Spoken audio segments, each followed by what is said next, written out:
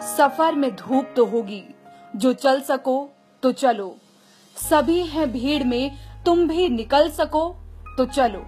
न देख पाओ के छाले, जो सह सको तो चलो। जुनू से अपना मुकद्दर बदल सको तो चलो।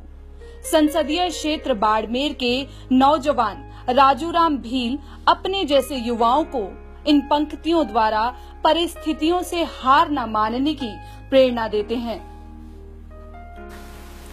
मैं राजूराम भील बाड़मेर जिला अजीत का रहने वाला हूँ और मैं दिल्ली विश्वविद्यालय का स्टूडेंट जो बीए सेकेंड ईयर पढ़ाई कर रहा हूँ।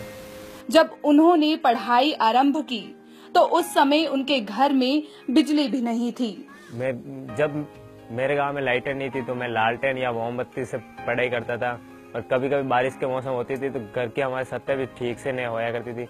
और उस वक्त गाँव में बिल्कुल लाइटें नहीं थी। तो मोमबत्ती या लाइट से ज़्यादा पढ़ाई होती थी हमारी। लेकिन राजू राम ने कभी हार नहीं मानी। उनके परिवार का भरपूर सहयोग हमेशा उन्हें आगे बढ़ने के लिए प्रेरित करता रहा।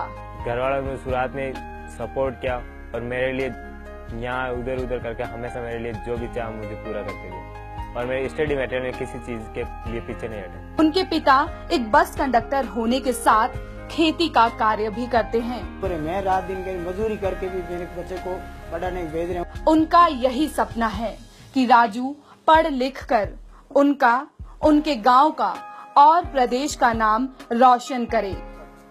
मैं आई एस ऑफिसर बनकर मैं समाज और मैं जो हमारी शेड्यूल कास्ट है उसके बारे में लोग उनको बहुत निम्न दृष्टि से देख से कहा जाता है कि ये जाति सबसे नीचे मानी जाती है और ये कुछ नहीं करती इसलिए मैं इस जाति व हमारे समाज को ऊपर उठाना चाहता हूँ और उन सबसे यही उम्मीद करता हूँ वो सब मेरी तरह आगे बन के और अपना अपना समाज का नाम रोशन करें। वहीं छोटा भाई भी उनसे प्रेरणा लेकर अपने कार्य में दक्षता लाने की कोशिश कर रहा है।